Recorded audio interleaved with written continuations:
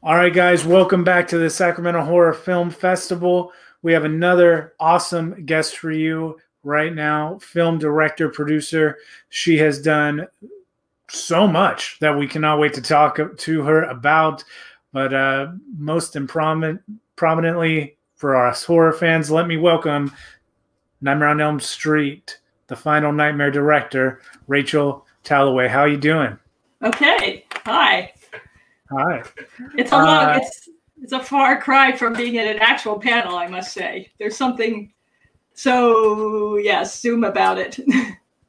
yeah, that you know the the unpersonalness of the whole panel thing. You, you know, being able to have the live crowd and being able to kind of feed off of the energy of the room is something that is very missed right now because yeah. of the pandemic. But, but here we are. Sure I am sure everybody who is sitting back and and watching is excited to uh, get to hear you share some of your stories throughout your career with us. And uh, you know, as far as Sinister Creature Con goes and Sac Horror goes, I think you know the first thing that would predominantly come to fans of your work mind is the fact that you directed, you know, the installment of Nightmare on Elm Street. You know, in all of the first six movies, so I started on part one, um, and then I moved my way up through the production ranks. So I was the producer of part three and part four, um, and so then I wasn't available to do parts five because um, I was producing Crybaby and uh, for John Waters, and so I um, ended up, but I ended up producing a film that the head of New Line, Bob Shaye, and was directing, and so when it came around to part six, I was like, okay, my turn. And it made it harder for him to say, we don't hire first time directors because he I had just produced for him as a first time director. Um, so my deep domain knowledge of the series uh, helped me get the job. I know you, and I blanked on the fact that you were there from the beginning because I know you were doing like more behind the scenes work when the franchise was starting, weren't you? Like doing kind of like a digital type stuff for it? I was uh, I started as the I had worked with Line as an accountant. I worked as a PA on my very first film I worked on, and then I became an accountant because of my math background. And I had done accounting on a film they did called Alone in the Dark, and that's how I got known to them. And um, so after that, I they asked me to then, then again to be the accountant on. I had moved to LA, and they asked me to do uh, be the accountant on the first nightmare, but I had been working with Roger Corman and didn't want to do accounting anymore. So I said, okay, if I get a production job. So I ended up with an assistant production manager um, credit, but really most of what I did was locations. When I wasn't doing accounting, okay. I was doing locations. So I found the Nightmare House, I found Glenn's house, I found uh, Tina's house. Um, and then I went on and they came around for the next one and they said, "Will you do the same thing?" And I said, "No, I'd like to production manage." And this this is a pretty well known story among in the horror fans. And then when they came around to the next one, I said I'd like to produce. And then that was so successful that they gave me a job at New Line. What was it about the Nightmare House and just just being a, a film student graduate, having to do like location scouting classes and stuff like that? After graduation, I actually went and drove and found the Nightmare on Elm Street house. What was it as a as a location scout, location manager type brain? Because it was so so close to downtown LA, where in the movie you would never guess that. So when we when we found it, I was like, well, this is this is rad to have this much of a residential looking street, and then here's Sunset Boulevard, literally so close. Is that what was that got you with that? I mean, we we were supposed to be in Ohio, and uh, so we yeah we were the the challenge was to find Ohio in LA. Um, so having grown up in the East Coast, I knew what we were looking for, and there are only there aren't a huge number of streets that don't have pine trees, uh, palm trees everywhere.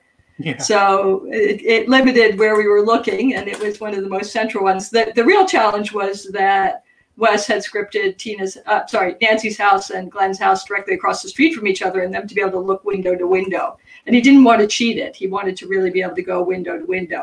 We weren't able to actually do that, um, we were one. They were kitty corner to each other. Glenn's mm-hmm. house was one over, but you know, knocking on doors and saying which is going to be Nancy's house, and then is there a house directly across the street that fits the bill as well, where the windows can look at each other. So that that was a, that, one of the challenges. It's still it's still the nightmare house, man. Like they haven't having just been there like a month ago. Looked exactly the same. It's crazy. Yeah. Um, but when you it's still there, right in the middle of Hollywood or West Hollywood. still there, yeah. Shrubs and red door and everything. The uh, it lives. Yeah, they, the uh, but when you get your turn, you know, finally you've worked your way to the director's chair, you know, of your Nightmare on Elm Street film. That process of, you know, because all of all the the characters in that era of horror, whether it be Freddy, Jason, Michael, you know, they each have a distinctive look. Now they may be in the same vein, but there is a you know there is a difference of. Uh, uh, Freddy in the original and to Freddy to yours. There's an evolution there.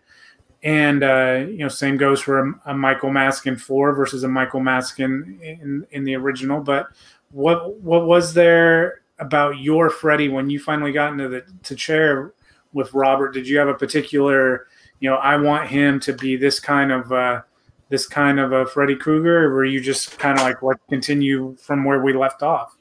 Um, I was very much, let's continue where we left off, that what Robert was most comfortable with is where I wanted to go. We weren't really re evolving him. We understood that lighting, that keeping him in the dark was critical. Um, and that became very difficult when we were in 3D, um, where you need lots of light. yeah. uh, but we understood from Nightmare One that the sort of, and um, so trying to keep that creepiness there um, but also nightmare 5 had been less successful because it had been so dark and so violent. And so the intent was to make it uh, a, a, lighter version that was uh, much happier at the box office. I'm often um, uh, uh in terms of the box office that was a big deal for new line. Um, and i find it difficult because i'm often castigated for having made the funny one.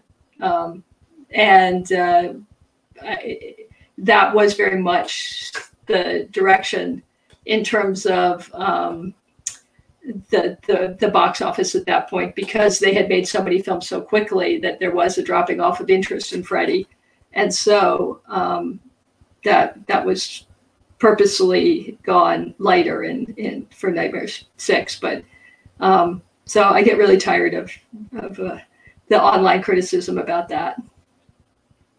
I, I mean, especially given that it's you know it's like okay, this is my first film. I've done a hundred and something hours of work since then, and I get I, I still see people say thing and I know I shouldn't read comments, but I still people say people oh. saying I can't I can't look at, at any of her work after Freddy. But, oh, that's super fair to my to my work since then. That I think is something that only someone who has been there would appreciate.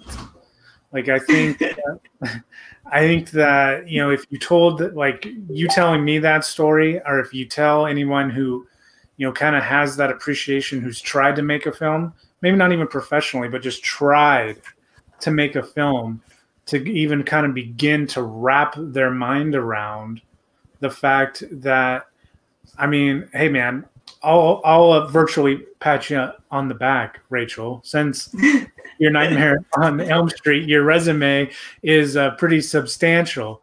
So to a, um, you know, say that is is from a film perspective is just so ignorant. It's unbelievable. I don't even want to talk about it anymore.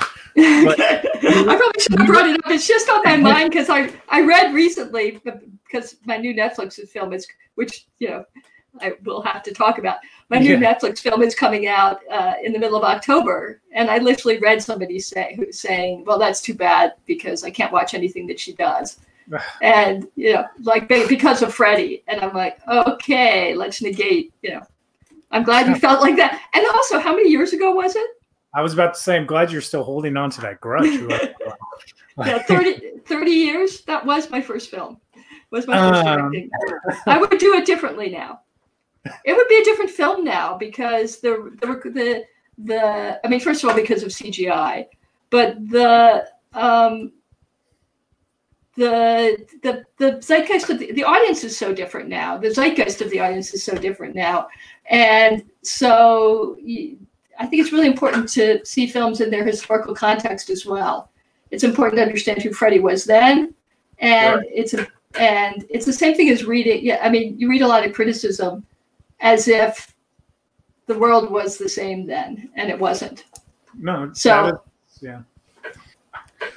That, that's a really good point. I think that's where, um, you know, there's certain horror movies now that draw upon that era, and and the word you know camp, 80s camp, 70s camp gets thrown up, and I think a lot of that is said not just in jest, but with affection, just because of what you just said. Like a Freddy in 2020 would be completely different than a Freddy back then, but a Freddy back then is what everyone kind of wanted as a Freddy. So, you know, I'm sorry, 30 years ago, their taste wasn't exactly the same as yours in 2020, but and I'm fascinated. It is fascinating that having been around for all the test screenings of parts three and parts four and five and six, and seeing what the audience responded to. And I love the fact that the audience loves Freddy, but the audience loves the kids too. And so mm-hmm. you would go to these screenings, and the audience would be going crazy uh, cheering Freddy, but they'd be crazy cheering the kids as well. And so, and you say, well, how do you reconcile that? And that's just fascinating, not um, problematic. It's just okay. Well, we love Freddy as an as a anti-hero, as the bad guy, but we also want the kids to win ultimately. So, yeah. and that's fabulous. And so, understanding that you can't, you, it's harder to intellectualize um, and contextualize that. But having an appreciation of, of how much we want our kids to be heroic, um, and we so and we want them to be fighting Freddy because that's them uh, fighting their own demons. That's cool. I mean, that's important.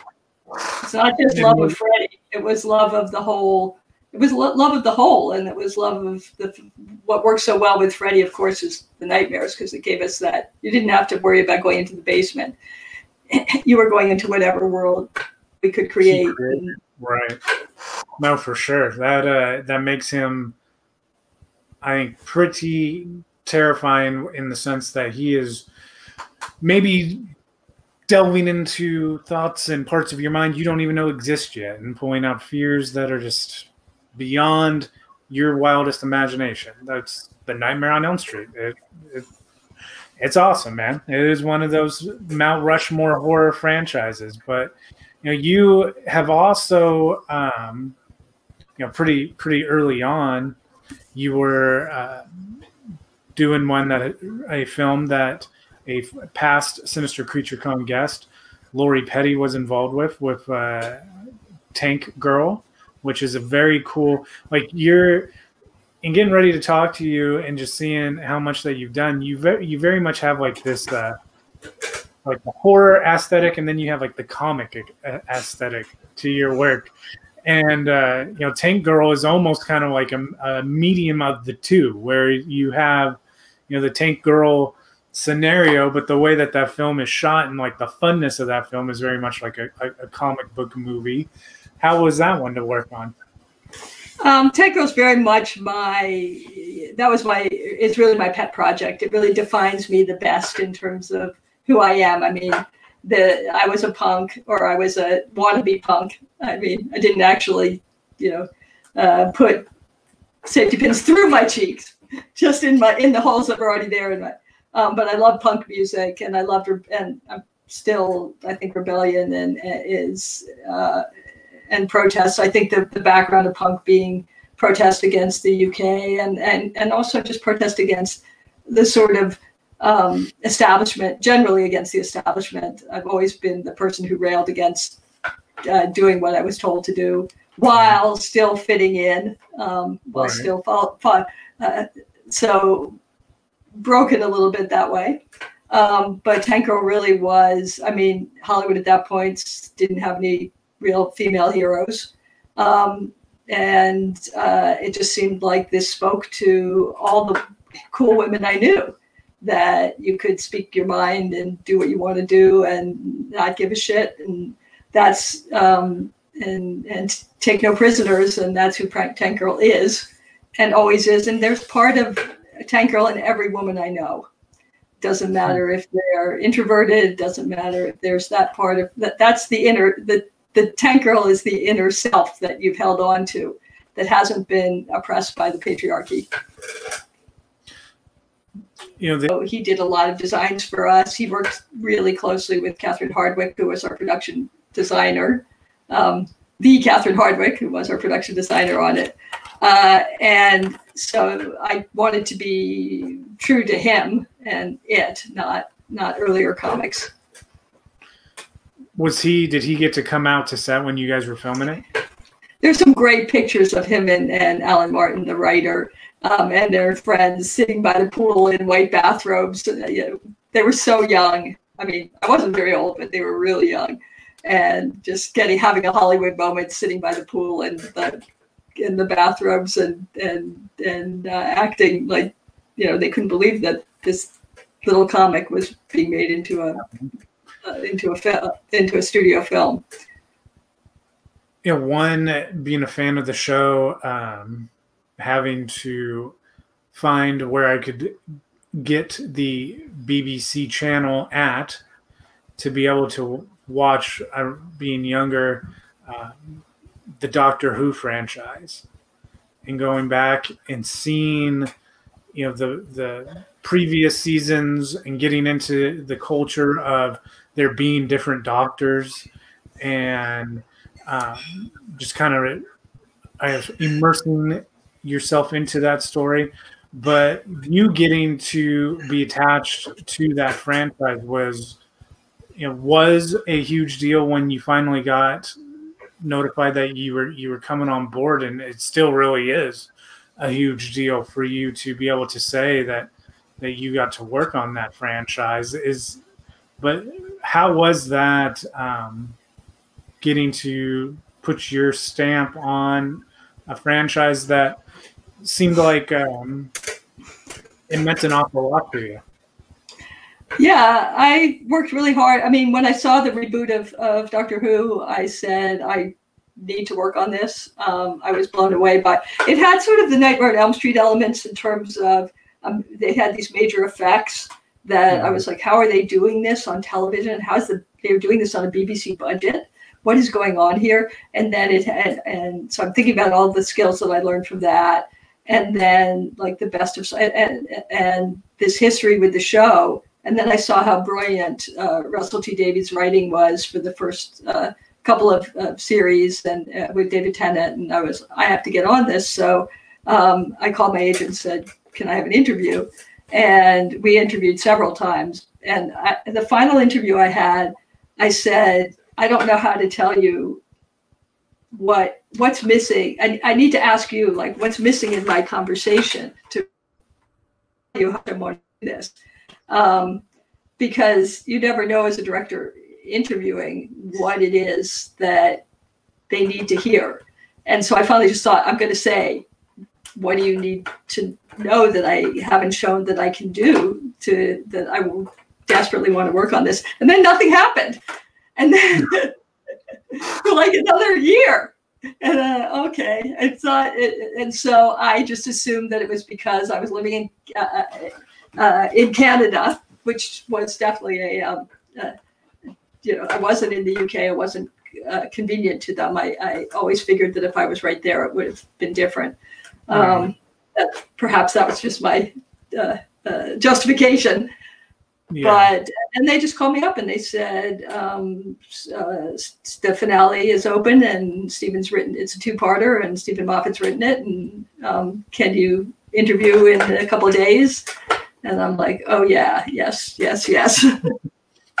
so we had an interview that it wasn't even an interview on the phone, just sort of a, a do you understand, you know, that we don't have a lot of money and uh, I'm, I'm there. And then they said, okay, we'll see you in a couple days. And I'm like, did that mean? And then it was it was the interview was on a Saturday, so it like wasn't confirmed with my agent till Monday. So mm-hmm. I'm sitting there going, well, did that actually? Did they actually say see you in a couple of months? See you shortly, or did did they actually mean that, or was that just one of those? Was that hyperbole? Mm-hmm. Do I have? so I had to wait for two days to find out. And then my main objective, I mean, first of all, the scripts were the scripts are absolutely genius. So that makes life vastly easier. And my main objective was to figure out how to fit in as well as I possibly could, how to understand what everybody needed and just be there for the show no matter what. So I went in not to say I'm going to make the best Doctor Who ever. It's just what is what is the best Doctor Who ever? What is it that Steven wants? What is it that Peter Capaldi wants? Can I be the most for uh, uh, the for all the creatives on the show? How can I figure out what they want the most and supply the best version of that? And that was really my that that's my objective. And the scripts were so good. So really, uh, and working directly with the day-to-day producer Pete Bennett, it was basically never how do we figure out ne- never to say no to Steven? So, and this will be appreciated by the horror fans. There's was a moment where um, we had somebody pulled out of the window of a plane, and Steven had written, or just his feet if we can't afford the visual effect. And mm. I looked at them and I said, I know how to do this. I see what we did at the end of Nightmare on Elm Street with pulling Ronee Blakley through the window. Yeah, yeah. We're yeah. gonna we're gonna do that old trick. And so we uh, took San, uh, Sanjeev Bhaskar out the plane by yanking by, by the old trick that we used on Nightmare. Um, and uh, uh, yeah, so that was just one of those. There's no way we're going to cheap out and do the. We're going to give them the whole effect, and we're going to do it without it breaking the bank. So that's where that's a good example for the best. When you uh, are filming out in like the UK or any place that's not you know home country at the time, is there a uh, other filming location that you would you know you would like to be at like filming at the uk you know when i when i hear that like my mind automatically goes to like man it would be cool to like work at pinewood studios one day. Just that's where star wars was filmed at. Like is there a spot you know whether it doesn't even have to be a sound stage that you either have gotten to work at or still want to work at that's kind of like one of some place that's eluded you that you haven't gone to? Are there is a secret room in the back of big ben, uh, big ben in the top of the tower at big ben that i'm desperate to at least see to get up to. Apparently, you have to have your you have to get uh, uh, an MP's uh, note to get on a list to be allowed to go see this secret room. Oh, um, and I would love to go up there. I really wanted to film there on um, Sherlock. We couldn't even get up there. Uh, we weren't allowed to get up there. Um, I, yeah, I think there's. I mean, I, it was really incredibly amazing to shoot um, at St. Paul's Cathedral. So I think every time you're in one of the iconic uh, locations in the UK, I mean, I'm particularly in love with the UK. I particularly love London. Um, so every minute I'm filming in London is as hard as it is, is absolutely magical for me. Um, I was jealous of Mr. Bean when they drove the Mini around Harrods. mm-hmm. uh, but I like the historical places. I mean, I would love to shoot inside St. Paul's and not just outside it. Um, I'd love to shoot in the Science Museum too. So mm. um, in, in, the UK, that's one of my that's one of my um, uh, happy places. It's a right really great museum. Um, and the Natural History Museum is one of the most beautiful buildings in London. So, yeah, there's quite a few places in London, but it was pretty much is this my life that I'm have St. Paul's Cathedral to myself, and I'm standing in here with Michelle Gomez and Peter Capaldi inside the door with like somebody playing the organ and two guards and us. Yeah. okay, and then some Cybermen come in. it's pretty pretty much this is not my life moment. Is you you've gotten to do a bunch of shows where you are you know you're in for like an episode and then you're on to the next project. Is that hard or is that? It's a different. So doing American television as a regular episodic director is a different mindset, and you have to. I mean, when you first come into it, and you're just a cog in the machine, mm-hmm. um, you have to check your. Uh, creativity to some degree and your ownership of your project and it takes a it takes a little bit of adjustment to realize that your job is entirely to satisfy uh, the showrunner um, and to be a cog in the machine, to be an incredibly uh, giving cog in the machine um, and generous cog in the machine, but also to just, there's just these moments that you can make things your own. And those are really satisfying moments. And it's a really, usually a really nice community, or you hope it's going to be a nice community, the people who have been together for a long time and fitting into that community is important. So, and and sort of bringing uh, confidence and experience to get you through the episodes and understand what you're, um, and, and still gets little bits of magic in there. I mean, there's pretty much every episode I've done. There were there are at least a couple of shots where I think, yeah, that that was good. Yes, I gave them what they wanted, and yeah, I got to do a couple of special things I had a moment on Ally McBeal. David Kelley um, very much had a structure for how you shot scenes in the offices. So mm-hmm. there was a vocabulary that you were asked to use. And there was one moment where I wanted to do something slightly different. And you could tell like there was tension in the entire um, place that I was going to spend a little bit of extra time to do something. And he really liked it and it ended up in the show. And I'm super mm. proud of that. I'm really proud of that moment because you, they said, we don't know how David's going to feel about it. Um, and I remember the editor saying, this is really effective and it's really good for David to see that sometimes uh, trying something different uh, can work as well. But it didn't diminish from the um, it, it didn't diminish from his writing. It didn't dim, diminish from the the importance of the close-ups, which um, was just a little bit wider and a little bit odder. And at that moment, it was appropriate. And that's what you're always trying to do is make the camera do something um, appropriate that just tells the audience a little something a little bit different. Your your body of work you've worked. I mean, you said Ally McBeal, which was the, the hit show. I can remember, you know, I still can remember the TV stingers of Ally McBeal popping up, you know, on Fox in between, you know, leading up to the days and stuff. But you you've worked on so many different shows, and you you touched on this fact when we were doing talking about the nightmare stuff. Is you've kind of gotten to see TV evolve from the inside. What has that? What has that been like? it's interesting because I'll go back now and I'll think, oh, I kind of like that episode I did of Without a Trace. I want to go back and look at something to do with it, maybe for a real piece or to show somebody something. And mm-hmm. I'll realize that I only have a video cassette and that we shot in four by 3 mm-hmm. And it and if you can even find a way to transfer the i mean then you'll go okay well i need to find a digital transfer but it's still in four by three and four by three format is so ugly and so you're like, how did we do that? How and they were so in those days they were so adamant that there was no way that we would ever go widescreen. And why would you ever do that? And yeah. I mean widescreen being 16 by 9, not even being right. wide widescreen. And now with so working in the UK was really really satisfying because already they were not they were shooting in the wider aspect ratio anyway um, with higher quality and uh, because there's more lines i mean it's technical but it, the quality of television broadcasting in the uk is better anyway.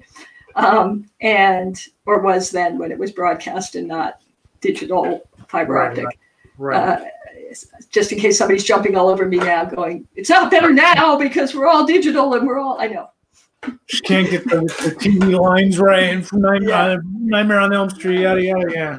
But the um the the uh, so in the UK when you got to uh, the, there was the, the limited series. I, what I worked on in the UK were all limited series, and so that approach, which is now the cable approach, the the premium uh, approach, is now the preferred approach in the US for the higher quality shows. But Americans weren't doing that. They were on that gravy train of 22, 21, 22, 24 episodes um, in a season.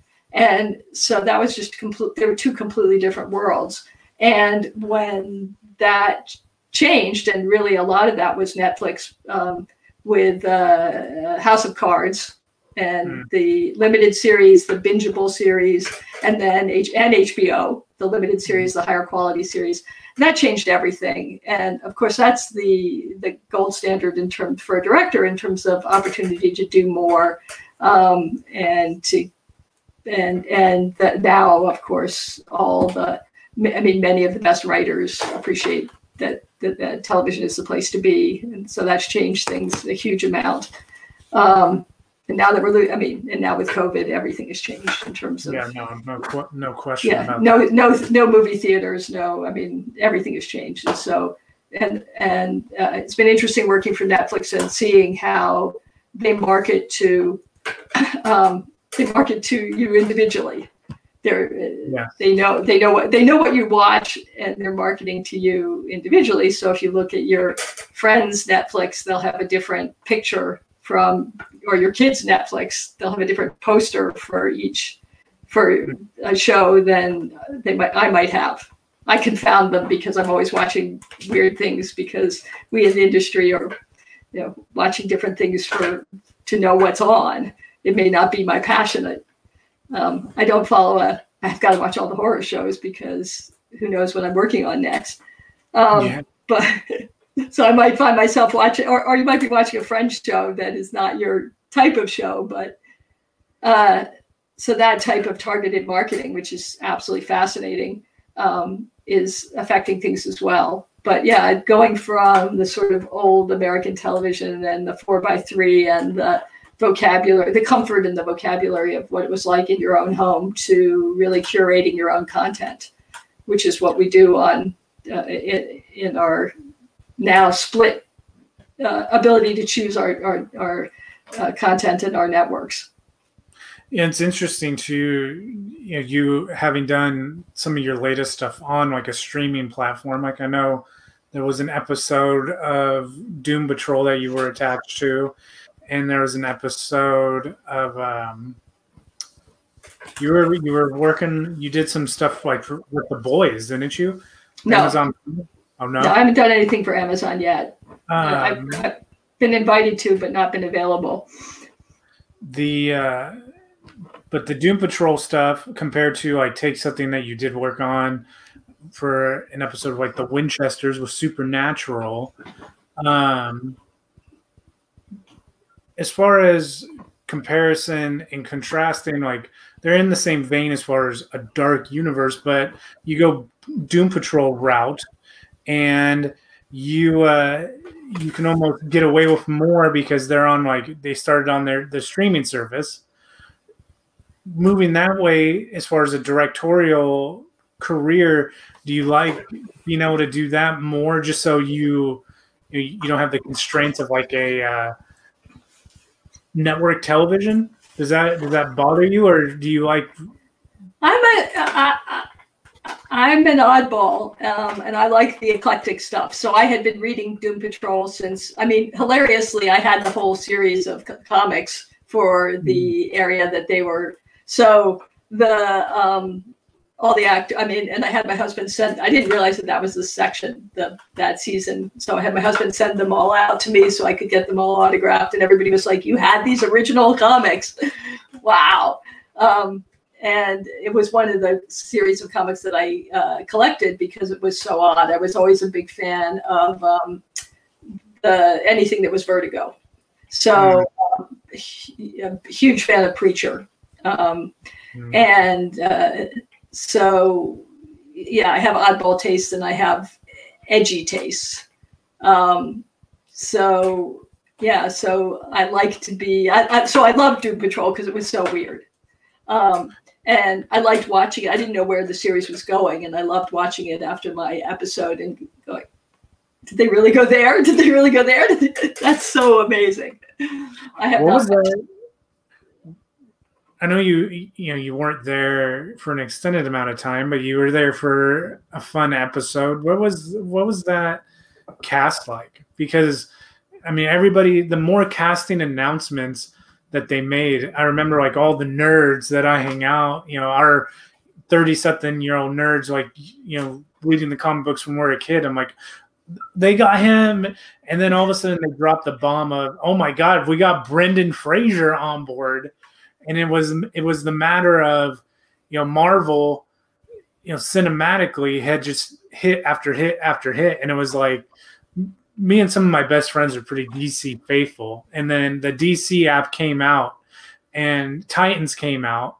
And we were like, okay, can you see us now? And then the trailer for Doom Patrol came out, and we were like, hey man, like they're starting to make that oh, Dark Knight comeback right now. And but what what was that like getting to like see them as a group working with all those guys?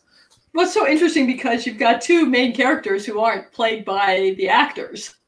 Yes. So, so you're playing by your your and when I started, they had. I mean, I did the third episode, so mm-hmm. there was some footage from the pilot, and then they were shooting the other one while I was prepping. So there, were, I very little knowledge about what it was. All I could do was go on set and see. I didn't have um, much to work with. So, so, mm. you, and then you've got these uh, physical actors who are amazing, acting the roles, but they aren't the roles who are going to vo- they aren't the people who are going to voice the roles. So, mm. um, and then you have the uh, like a, uh, the days I worked with Matt Bomer when he was Matt Bomer. I mean, when, when he was a negative man. Right, right, um, right. So you're getting both of those elements, and still everybody's working together and working it all out. I didn't work with I didn't work with Brendan Fraser at all, um, to my disappointment. Yeah. Uh, but um, yeah, and I, uh, uh, um, and Chief, I only worked with his puppet. It was mm-hmm. really super, uh, which was kind of great too. It was really fun to do marionettes. That that was something I'd never done before, except in except producing Nightmare Three. And that was a different type of. We didn't have Nazi marionettes. We had yeah, yeah. we had puppeting people's veins. Yeah, um, marionettes. So um, yeah, so so there was a lot about being early on in Doom Patrol that was about determining what it was, and that was really uh, fun and interesting. And uh, I love that cast. I mean, I loved everything about working on that. It was challenging and and crazy and and yeah, it was good. And what about uh, your upcoming work with uh, Netflix? You have a new project that we would be able to, uh, or we should be able to look forward to sooner than later. That you just got uh, just got done with, right? Yeah. So I've been working for the last year, and almost a year and a half, on a kids uh, monster movie um, called The Babysitter's Guide to Monster Hunting, and it um, I, now it's going to sound like my ad. So I hold up my book and say, Babysitter's Guide to Monster Hunting on October 15th on uh, drops on Netflix on October 15th. Um, and it's based on a series of books, and it's a family monster, uh, uh, Halloween monster movie and it's um, fun and scary and family Halloween movie. Um, and it was for me, it was a, a challenge because trying to make it family enough. They kept saying you're making it too scary. And I'm like, I'm sorry, I'm good at the horror part. Uh, but you know, I worked really hard to become good at the horror part and understand the horror part and understand tension. And, and that's become part of my vocabulary in terms of as a filmmaker, and and often I'm told that my Doctor Who's are very scary. Um, so trying to mitigate, sort of, you know, do, play the games that because it does have to be a monster movie, and I wanted to skew up so that teenagers want to watch it as well. I wanted it to be for the whole family, but I also don't want the letters from. You know, I don't think your four-year-old should be watching it, even though yeah. minimal minimal monstering. Um, so yeah, that's a balance for for Netflix as well to try and find that, that exact balance of making it. So we mitigate it with a lot of humor. So it's a very Rachel movie from the standpoint of there's humor and there's scares, but you're always breaking the scares with the with the um, humor. but it's not campy like Freddy. It's not. It's it's uh, like my. It doesn't have the '80s horror camp. It's much more of a straight ahead kids monster movie. That's. I mean, that's one of the fun stuff to watch in October. It's always fun to watch. You know the horror yeah. movies year round, but in October, you know, like your hocus pocus type movies, those are always the good ones to kind of dig out once a year. The nostalgic, give you the nostalgic feel of the best time of and the year. And it's uh, it's it's very female forward. It's very, I mean, very important to me to constantly be in, empowering to girls. It's very, there's certain tank, the references to Tank Girl um, for sure. There's not, there's a call out to Nightmare on Elm Street that the fans will appreciate. So there's a few things for the whole family. Um, and I mean, for the, for the horror fans out there as well. Um, there are a few Easter eggs.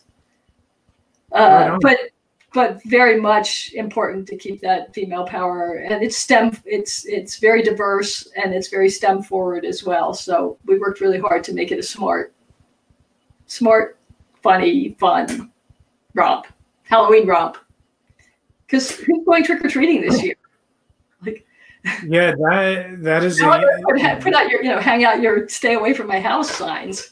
Yeah that's it's an interesting thing. There's a a local uh, haunted house in the town that we live in that uh, is doing trick or treating instead of the haunted house, but they're doing trick or treating with these PVC pipes that are probably big enough to get a softball, and they are loading plastic balls filled with candy, and they're sending them down the PVC pipe so the kid can catch them on the other side.